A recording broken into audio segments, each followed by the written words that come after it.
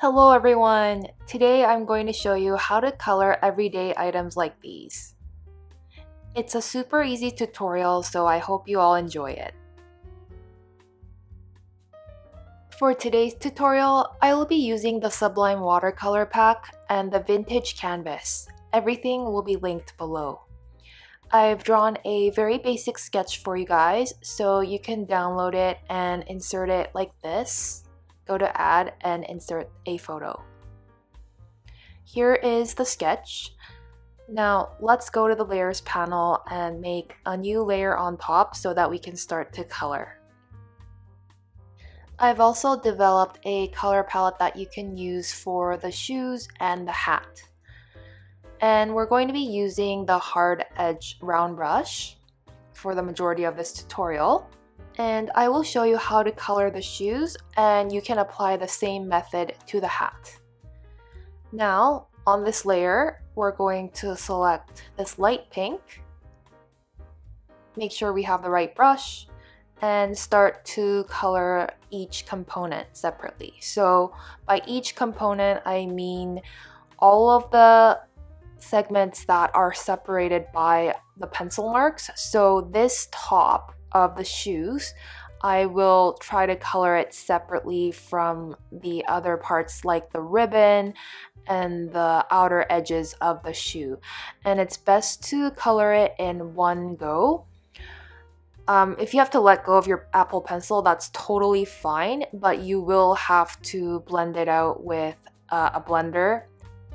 As you can see, I'm trying my best to color it in one go just to avoid that blending part, but I think I will have to let go at this point.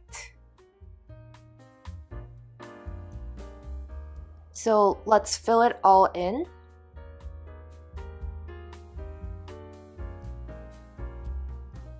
Now let's get our basic blender right here and blend out that overlap. We need to smooth it out so that it looks like we've colored it in one go. Make sure you do not blend outside of the pencil lines. And now I'm coloring the ribbon on a separate layer. It's best to separate layers for different components because we're going to be using um, stamps later on. As you can see, I've separated all my layers like this. And so you just need to create a new layer whenever you're starting to color a new segment.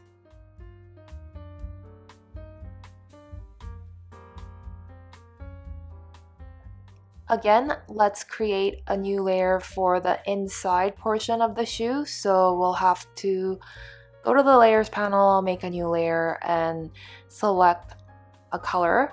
I'm going to choose this beigey color. You can choose whatever color you like.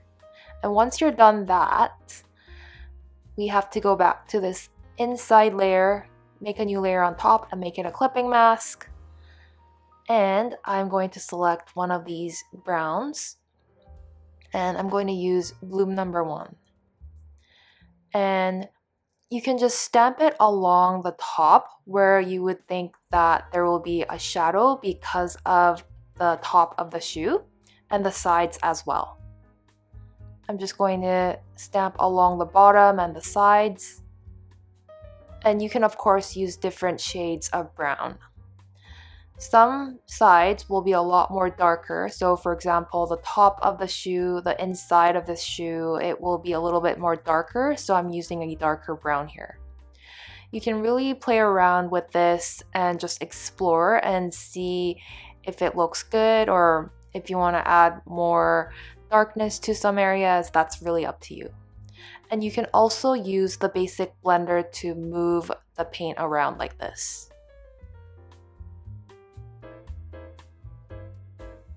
That looks pretty good, so let's go to another layer. So maybe select the outer edge of the shoe and then make a new layer on top and make that a clipping mask so we can start to stamp on that layer. And again, bloom number one, and just like before, I'm just using a darker pink and just stamping along the edges. Obviously, you can use a different variety of pinks. and you can try to concentrate on areas that will have more shadows. And you might want to create these clipping mask layers on all of the layers that we created and use stamps to just kind of enhance the artwork. And once you're happy with the shoe, you can just merge all of the layers like this, just into one layer. So I'm just going to merge down. There's that one layer, layer 14, and we're going to duplicate this layer now. And once it's duplicated, we'll want to go to this top button here, as you can see, and you'll want to move that layer to the side and flip horizontally. After you flip it, you will want to make it fit inside our pencil sketch. So you might want to adjust the angle to make it fit. So I'm just going to play around with that until it's perfectly fit into that mold.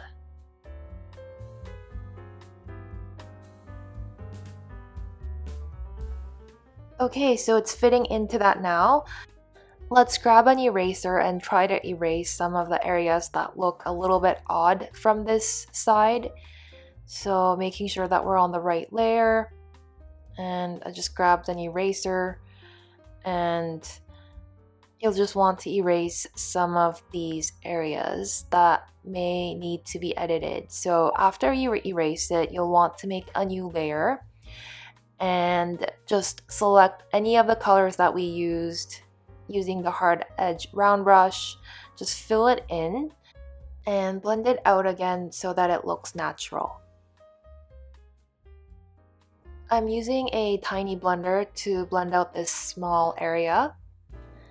You might want to add a bit more to this shoe just to differentiate this one from the other one we don't really want everyone to find out that we just made a copy of that side so I am now adding a bit more color blending that out and perhaps I'll add a bit more on the inner side so adding some stamps perhaps. Just trying to see how it looks like overall. As you can see I've colored the hat already using the exact same method that I showed earlier it looks really similar right now, so I'm just going to add a few more stamps just to make it a little bit different.